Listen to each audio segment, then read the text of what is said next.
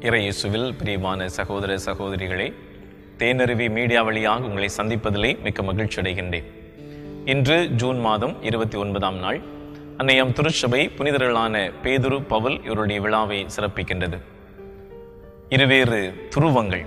ஆனால் திருச்சபையினுடைய மிக மிக முக்கியமான இரு தூண்களைத்தான் திருச்சபை இன்று கொண்டாடுகின்றது. பேதுரு இயல்பிலேயே மிக மிக உணர்ச்சி வசப்படக்கூடியவராக இருந்தவர். ஒரு எளிமையான பாமர மீனவ குடும்பத்திலிருந்து வந்தவர்.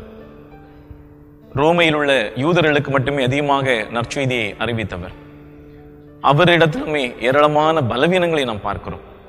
இயேசு தன்னுடைய பாடுகளை குறித்து சொன்னபோது ஆண்டவர் இது உமக்கு வேண்டாம் என்று ஆண்டவரை இடத்துல சொன்னவர். ஆண்டவரால் கடிந்து கொள்ளப்பட்டவர். மன்னிப்பை குறித்து இயேசு சொன்னதை ஏற்றுக்கொண்டவர். ஆனால் எத்தனை முறை மன்னிக்க வேண்டும் என்று குழம்பி போன ஒரு மனிதர். இயேசுவால் நம்பிக்கை கொடுக்கப்பட்டு கடல் மீது நடக்கிறார். ஆனால் சந்தேகம் ஆட்கொண்ட போது அமிழ்ந்து போகக்கூடியவராக இருக்கிறார். இறுதி ராவுணவிலே யார் உம்மை விட்டு பிரிந்து சொன்னாலும் நான் உம்மை பிரிந்து சொல்ல மாட்டேன் நான் உம்மை மறுதளிக்க மாட்டேன் என்று ஆணித்தரமாக சொல்கிறார். அதே இரவிலேயே இவர் யார் என்று தெரியாது என்று இயேசுவை மறுதளிக்கக்கூடியவராகவும் இருக்கிறார். இப்படிப்பட்ட பல்வேறு பலவீனங்களை கொண்ட இந்த மனிதரை தான் இன்றைய நற்செய்தி வாசகத்திலே ஆண்டவர் சொல்கிறார் நீ பாறை இந்த பாறை மீது என்னுடைய திருச்சபையை கட்டுவேன்.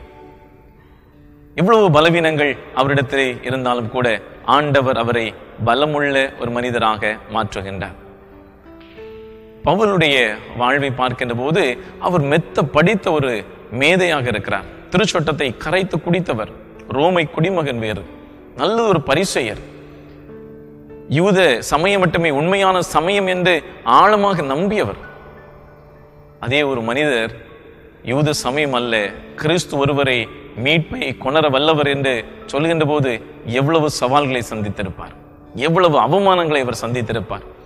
ஆனாலும் பல பல இடங்களுக்கு பயணப்பட்டு புறவினத்தார்களுக்கு நற்செய்தி அறிவித்து புறவினத்தாருடைய திருத்துதராகவே அவர் மாறிப் போனார் இத்தனைக்கும் பேதுருவை போல ஆண்டவரோடு உடன் நடந்தவர் அல்ல.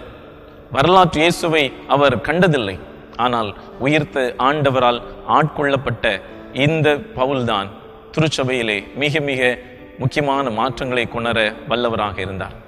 அன்புக்குரிய உள்ளே இந்த இரண்டு புனிதருடைய விழாவை இந்த நாளிலே சிறப்பு செய்கின்ற போது இவரிடத்திலிருந்து நாம் கற்றுக்கொள்ள வேண்டிய ஒரு முக்கியமான பாடம் அவர்கள் கிறிஸ்து அனுபவத்திலே நிலைத்திருந்தார்கள்.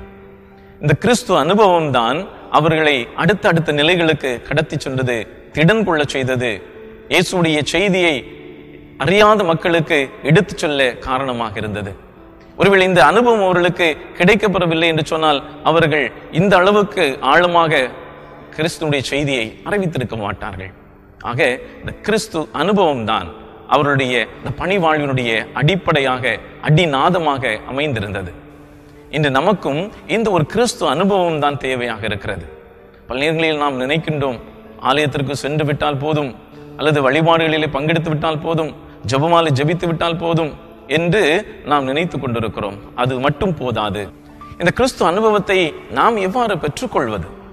முதலிலே விவிலிய வாசிப்பு இன்று நம்முடைய பிள்ளைகளுக்கு விவிலியத்தை வாசிப்பதற்கு நேரம் இல்லை யாராவது விவிலிய வினாடி வினா போட்டிகள் நடத்தினால் மட்டுமே விவிலியத்தை புரட்டி பார்க்கக்கூடிய பிள்ளைகளாக நாம் மாறிக்கொண்டிருக்கிறோம். அதுவல்ல ஒவ்வொரு நாளும் திருவிவிலியத்தை வாசித்து அந்த விவிலியம் சொல்லித்தரக்கூடிய அல்லது விவிலியம் வெளிப்படுத்துகின்ற கிறிஸ்துவை நாம் மனப்பூர்வமாக உளப்பூர்வமாக உள்வாங்குகின்ற போதுதான் கிறிஸ்து அனுபவம் நம்மிலே வாய்க்கப்பெறும்.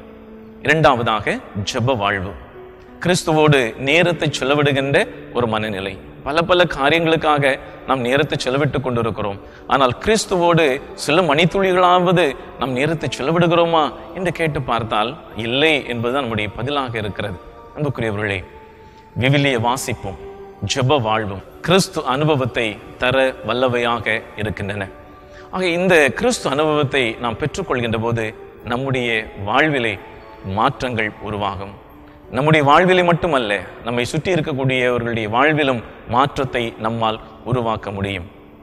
பவுலடியார் சொல்வதைப் போல வாழ்வது நான் அல்ல கிறிஸ்துவே என்னில் வாழ்கிறார் என்று சொல்லக்கூடிய ஒரு மனநிலை நம்மிலே உருவாகும். அந்த மனநிலையை தான் ஆண்டவர் நம்மிடத்திலே எதிர்பார்க்கிறார். ஆக கிறிஸ்துவ அனுபவத்தோடு நாம் வெளியே சொல்லுவோம். கிறிஸ்துவாக கிறிஸ்துவை பிரதிபலிக்கக்கூடியவர்களாக உருமாறுவோம். அத்தகைய அருள் வரங்களை தொடர்ந்து நாம் மன்றாடுவோம். இணைந்து ஜெபிக்கலாமா? அன்பே உருவான இறைவா திருத்தூதர்களான புனித பேதுரு பவல் இவருடைய விழாவை இந்த நாளிலே நாங்கள் கொண்டாடுகின்றோம். இவர்களை திருச்சபைக்கு தந்ததற்காக உமக்கு நன்றி செலுத்துகிறோம். இவர்கள் வழியாக திருச்சபை ஆள் போல் தழைத்தோங்க செய்தீரே உமக்கு நன்றி செலுத்துகிறோம். ஆண்டவரே இவர்கள் உண்மையிலே கொண்டிருந்த ஆழமான அன்பு அந்த அன்பின் பிரகாரம் அவர்கள் செய்த உழைப்பு அதற்காக அவர்கள் செய்த தியாகங்கள் சந்தித்த சவால்கள் அவமானங்கள் வேதனைகள் அதிலிருந்து மீண்டு அவர்கள் நற்செய்தியை போதித்த விதங்கள் அனைத்தையும் இந்த வேளையில் நாங்கள் நினைத்து பார்க்கிறோம். அன்பு ஆண்டவரே அவர்களைப் போல நாங்களும் கிறிஸ்து அனுபவத்தால் உந்தப்பட்டவர்களாக கிறிஸ்துவை பிரதிபலித்திட எங்களுக்கு உடைய ஆற்றலை பொழிவீராக. எங்கள் ஆண்டவராகிய கிறிஸ்து வழியாக உண்மை மன்றாடுகிறோம். ஆமீன்.